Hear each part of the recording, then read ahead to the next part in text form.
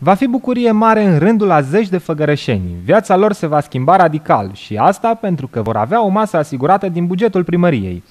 Consilierii locale au aprobat în ședința ordinară dublarea numărului de locuri pentru cei mai săraci dintre făgărășenii. Așadar, de la 75 de locuri câte au fost până acum, se va ajunge la 150 de locuri. Capacitatea cantinei de ajutor social s-a extins cu 75 de locuri datorită numărului mare de solicitări înregistrate, deținând la momentul prezent 150 de locuri.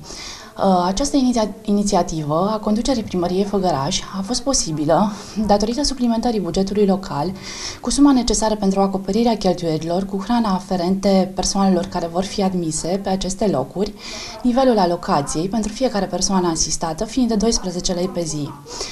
Uh, de asemenea, prin hotărârea Consiliului Local s-au mai aprobat și categoriile prioritare de beneficiari, acestea fiind persoanele cu handicap, pensionarii, copiii aflați în risc ridicat de abandon proveniți din familiile defavorizate și persoanele care primesc venitul minim garantat și anume ajutorul social.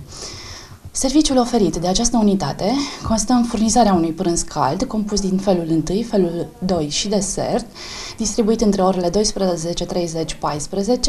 iar vinerea se asigură hrana rece pentru perioada weekendului.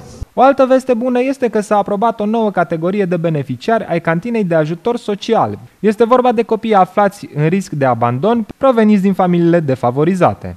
Inițial, reprezentanții Serviciului Public de Asistență Socială au cerut 200 de locuri, însă, deocamdată, au fost aprobate doar 150. Pentru cele 75 de locuri suplimentare, cu alocație de 12 lei pe zi pe persoană, contribuția locală este de 328.500 de lei pe an.